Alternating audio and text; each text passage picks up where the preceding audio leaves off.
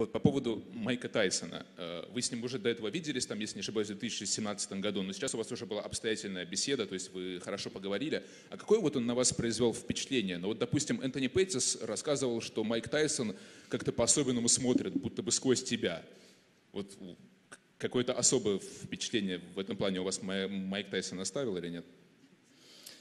А, а, ну, а, нет, он сквозь меня не смотрел. И вообще мне взгляд тоже его не особо понравился. А почему? Ну, потому что мы же были у него на ранчо.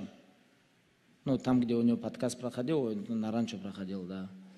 Но я им сказал, что вот этих смог там и так далее, этих движений, чтобы на столе не было, мне не понравилось. Мне больше понравилось, как выглядел Криштиану Рональду. Криштиану Рональду выглядел как спортсмен.